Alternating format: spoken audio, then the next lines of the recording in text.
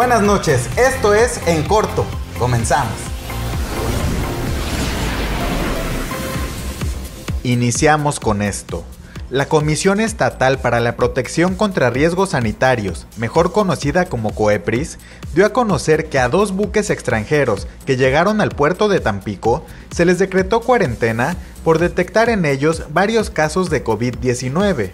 Uno de los buques es el Remas, de bandera italiana, en el que 12 de sus tripulantes resultaron positivos a la prueba de COVID-19, y la embarcación Rolling Stone, de bandera holandesa, que presentó 7 casos positivos. La dependencia anunció que a los tripulantes se les hará revisión de signos y síntomas de forma continua, valoración médica en caso de ser necesaria y se aseguró la disponibilidad de un servicio médico hospitalario por si se requiere.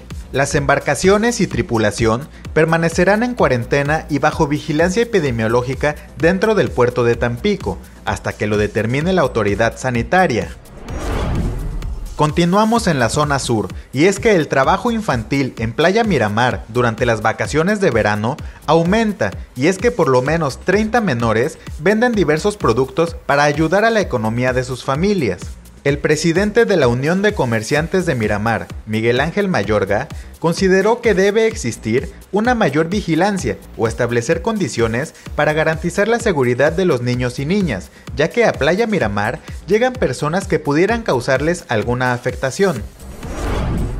Las importantes lluvias que se han registrado en Tamaulipas en el último mes han permitido acabar con la sequía en el 71.4% del territorio estatal ahora solo el 28.6% sufre aún de sequía moderada y clima anormalmente seco.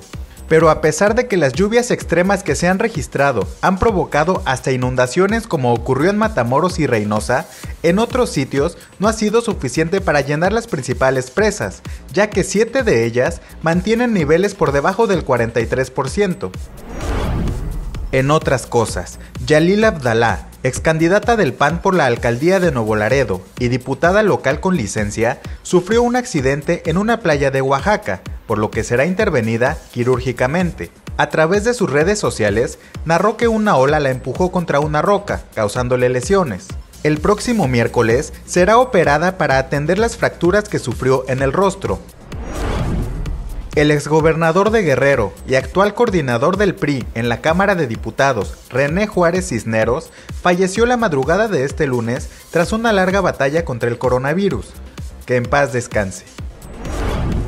Bajo el duro sol de mediodía y con una temperatura de 34 grados, cuatro jóvenes bailaban en la esquina del Mercado Argüelles de Ciudad Victoria. El motivo, reunir recursos para participar en un concurso de polka que se realizará los días 7 y 8 de agosto en Monterrey, Nuevo León. Si usted quiere apoyarlos, estarán presentándose toda esta semana en el mismo lugar, de 10 de la mañana a 12 del mediodía. Apoyemos, esta es la imagen del día. Y así llegamos al final de la información. Muchísimas gracias por su atención, cuídese mucho y pórtese bien.